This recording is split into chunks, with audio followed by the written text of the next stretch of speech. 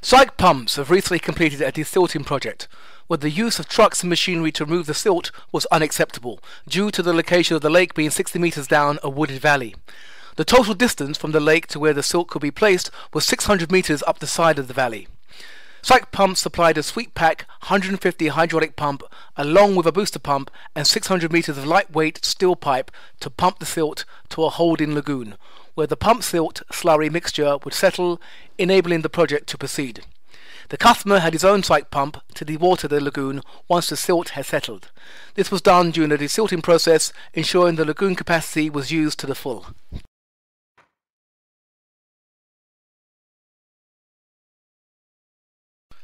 At the start of the project, the build-up of silt can be seen as the water level is lowered.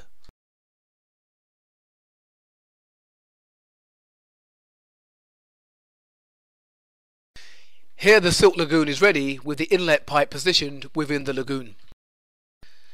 The lightweight steel pipe is descending down the wooded valley from the silt lagoon to the lake.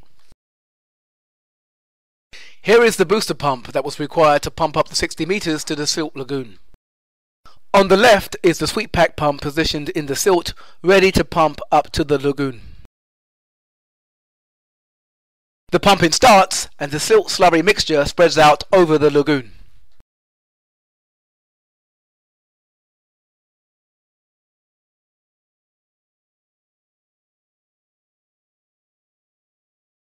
The silt can clearly be seen building up in the lagoon after 10 days of pumping.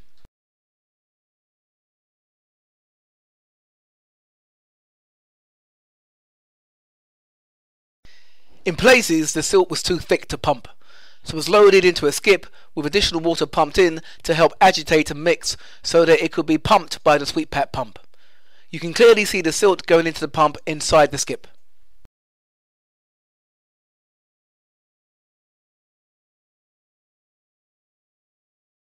Here is the lagoon full of silt at the end of the project.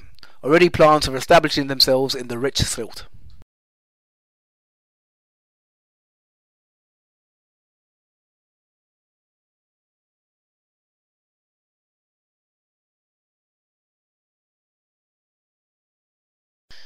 The process complete, with the lake refilled and back to a haven for wildlife and the public to enjoy.